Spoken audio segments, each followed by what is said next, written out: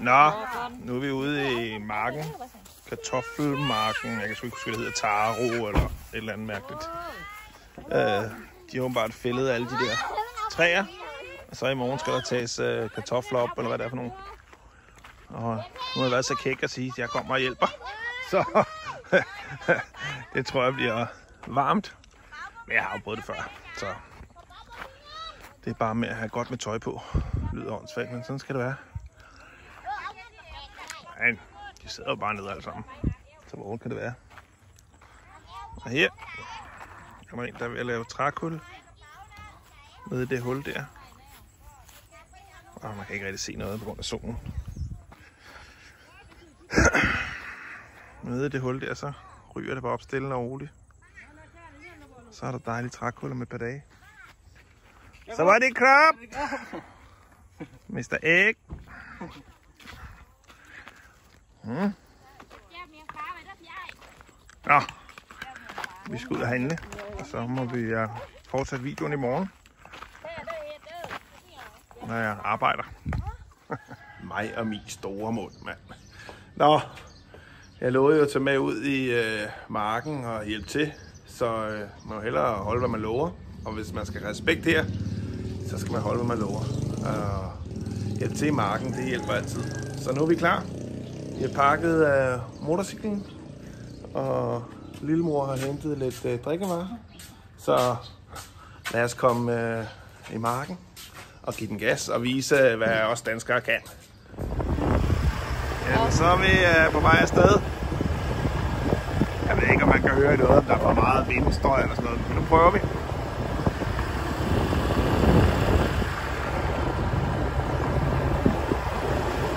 Ellers så kan vi vel altid sætte noget musik henover, skulle jeg til at sige, og noget øh, fast forward.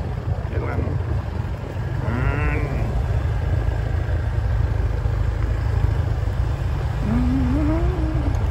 Det er altid dejligt at have en motorcykel. Det er et must. Skal være med bil. Bare man har en øh, motorcykel eller en stor knald, eller hvad det hedder. Honda Click. Se lige der. Øj, hvor er det varmt, mand. Åh. Åh. Åh, my Stop having a seat. Are you fucking crazy? Se, der er altså sådan en her med. Åh. Til at grave efter krabber. Så.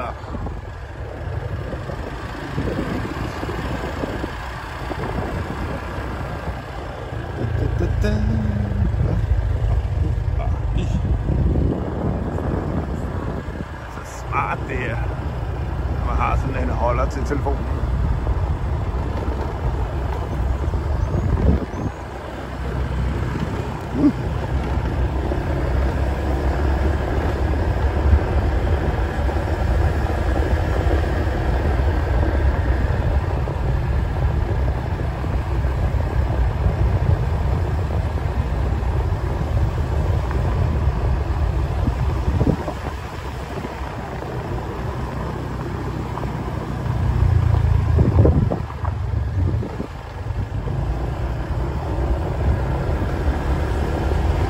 Altså man kan se, der er jo kartoffelfarm, eller hvad det er, over det hele. Her har vi gummitræer. Dem kender de fleste også, som kommer her fra Isaren og omvejen. Øh, det kan jeg vise en anden dag. Hvad laver det? Oh, lige grenen der. Bananpalmer her langs vejen. Bananpalmer er åbenbart en form for ukrudt. Der først kommer en, og så går de helt amok og skyder, skyder, skyder, skyder. Så det skal man passe på med at plante. Det er næsten ikke til at slå ihjel igen. Det her er faktisk øh, vores, øh, vores families øh, gummifarm. Der har været nede og høste nogle gange. Det er faktisk meget sjovt.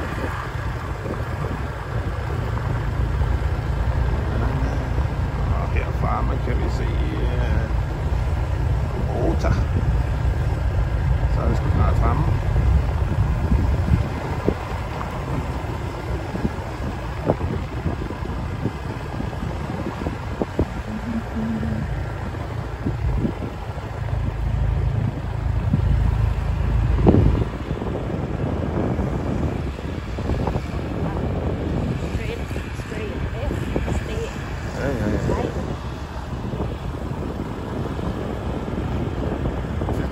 der er timer.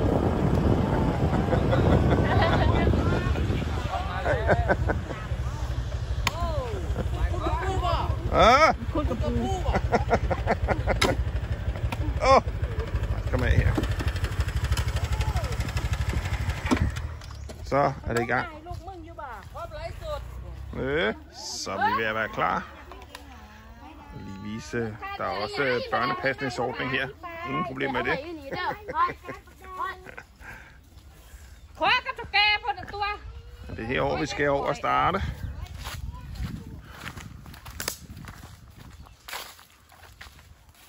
Ui. Det ser varmt ud.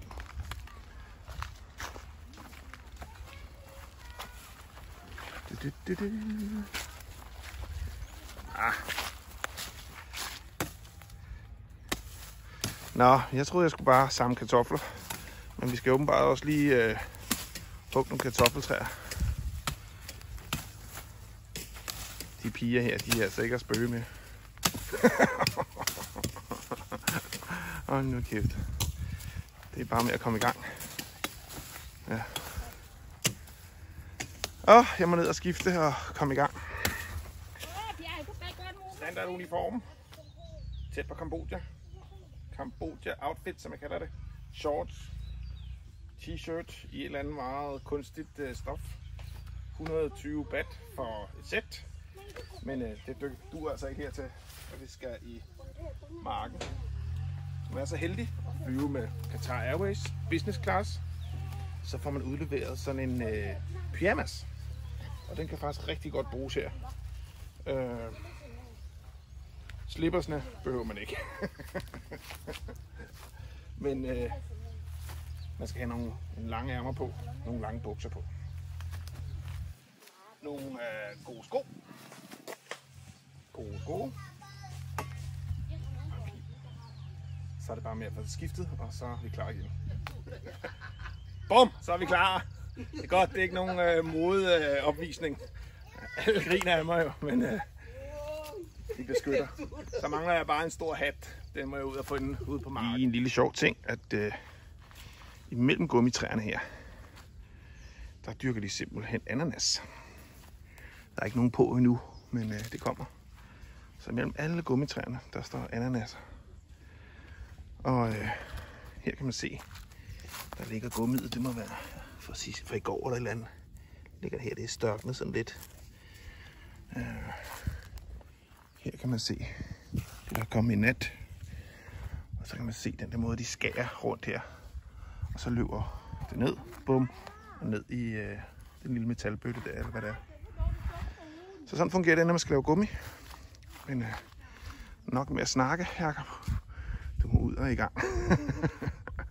Selvom det er hyggeligt at stå herinde i skyggen. Og kæft, den er skarp, den her. Oh.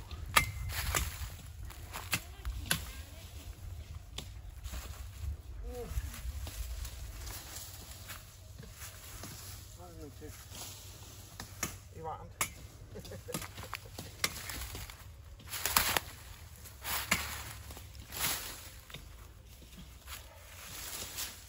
Nå, nu må vi prøve at se, hvordan en professionel gør det. Jeg ser lidt mere frem til at skal tage kartoflerne op af jorden, i stedet for alt det her huggeri. Men den der kniv, den er så vanvittig skarp, man skal eddermame passe på.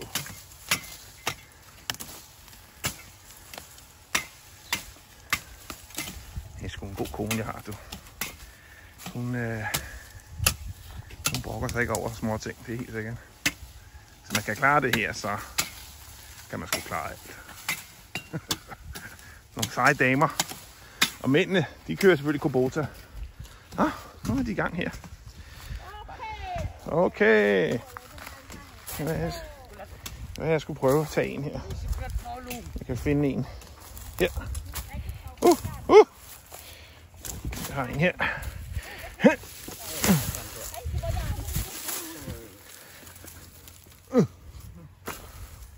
Så har jeg lige lavet det. Du.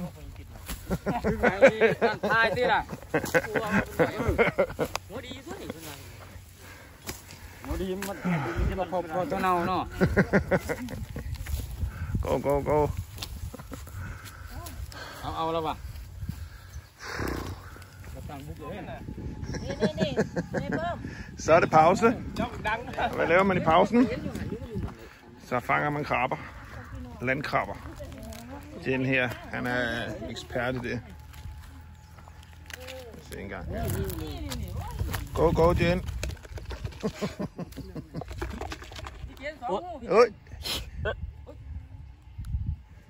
Kom så. De er sgu ikke sådan lige, de der banditter. Kom nu, Jen. Det værste er det her sted her, når man øh, været rundt.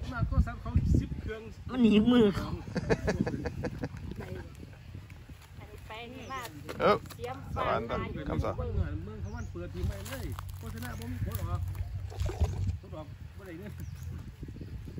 Ja.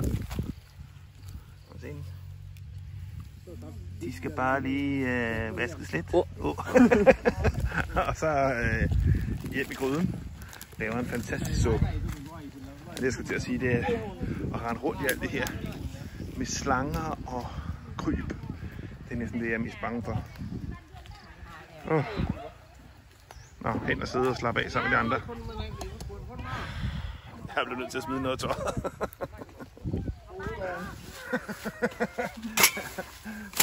Hold nu kæft, der er meget lort her. Der skal klippes ned. Nej, nej, nej, nej, nej.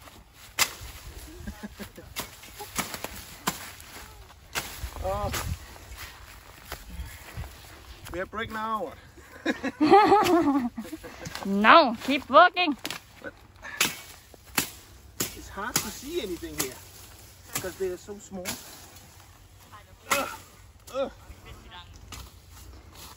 Thai hold kæft, den team. Skarp, den her kniv, altså. Så skal man ikke hugge ind i benet.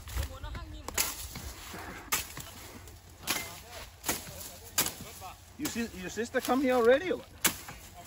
Yes, she run now now. Nå. Jeg tror, vi har prøvet det. They are go. They finished already, Malay. Hey.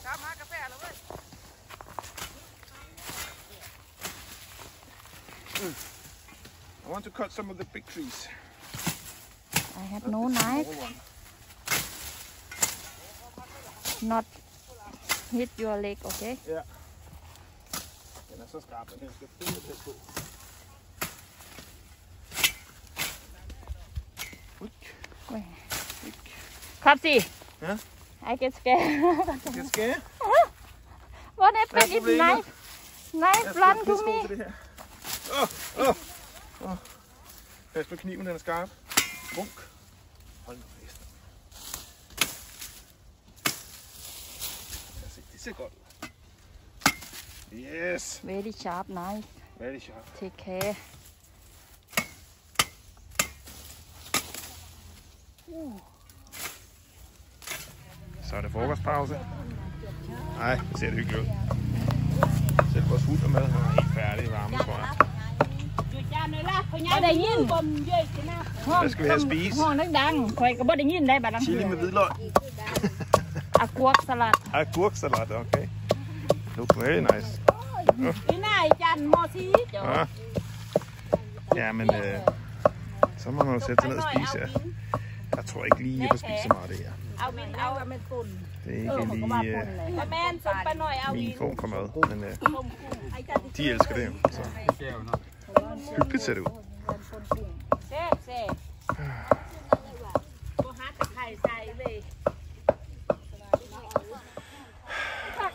Skal jeg være farmer fra 1 til 10 i Thailand? det må blive en etter, hva'? Hold nu kæft. Det er, er det tredje, fjerde gang, jeg har ude at prøve, men det er bare for varmt. Altså. De er bygget af noget andet end os andre, men øh, jeg prøver at følge med, og så lad os se, hvordan det går i eftermiddag. Hold kæft, hvor er jeg bare træt. og fuldstændig ødelagt. Det var godt nok en hård dag i marken. Øhm, Men øh, jeg tror, jeg har vist, at øh, os danskere kan godt, når det er. Øh, selvom de griner lidt af mig, så, så, så tror jeg, at, øh, at øh, det vinder deres respekt en lille smule i hvert fald, at man kommer. Men nu er det slut for i dag. Nu skal vi ind ah, i aircon og have os et koldt bad. Og så er det ellers bare ud på terrassen, sidde, få en kold øl. Men øh, hvis nogen af jer sidder derude og tænker, det der, det kunne jeg godt tænke mig at prøve at komme i marken og arbejde, så skal I bare sige til. Øh, det kan jeg godt arrangere, og det skal være helt gratis. Kan I have en dejlig dag.